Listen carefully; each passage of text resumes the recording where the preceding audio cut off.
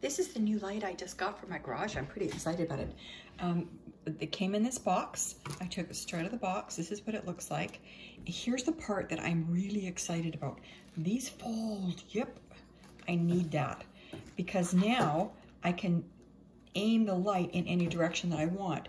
It's gonna be hanging like this. Can you see that? And if I want it up a little bit more so I can see over where the dog is, if I want to aim it up where the garage is, where the garage door is, I can aim these to any place that I want so I have better light. It looks like it's really heavy duty. It feels good. It looks like it's well made. Um, you can see the, the panels in here. Now I'm gonna lay it down like this, up. Let's take a look at the box. There are no instructions inside this box, okay? So the instructions you're gonna get are what's on the box. And this one says it's a deformable. It means you could just move it around. I've got this one, the one with four.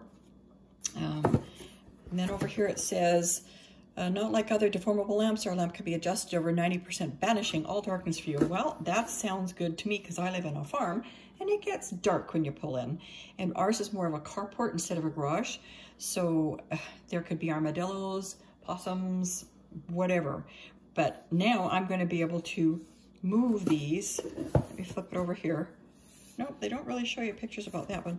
I'm going to be able to move it so that I can point it in the different directions and see exactly what I need to see. I really like that idea. This is better than the other ones I've seen where I have a choice of what I'm going to be looking at. And apparently all I have to do is simply just go take this out there and unscrew the old one and screw this one in here and we're good to go. I'm pretty excited. This must be a plastic cap that comes off.